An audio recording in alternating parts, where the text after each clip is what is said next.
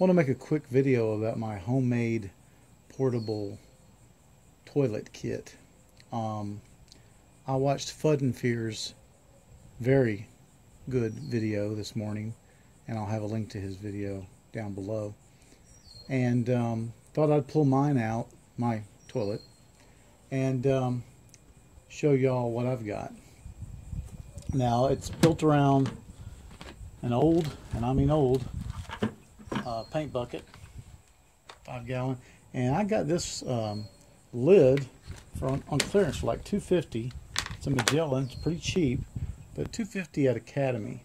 Um, Walmart sells a little nicer one, and I may end up getting a second kit together. And if I do, I'll probably buy that one.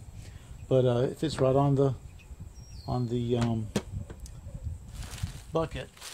I have a bunch of garbage bags here. And then I have some toilet paper. And I keep the toilet paper inside these old coffee uh, tubs. In addition, I have a bottle of uh, Germ-X. Clean your hands if you don't have water. And then I'm going to throw in there this 5x7 tarp. 50 feet of cheap uh, Walmart paracord and some bungee cords. Now what this is for is putting together a screen.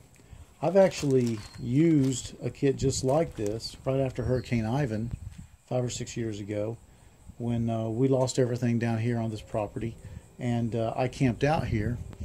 Uh, I built a little makeshift toilet, had some privacy with, uh, with a, a, tarp, and um, basically used a, a bucket just like this.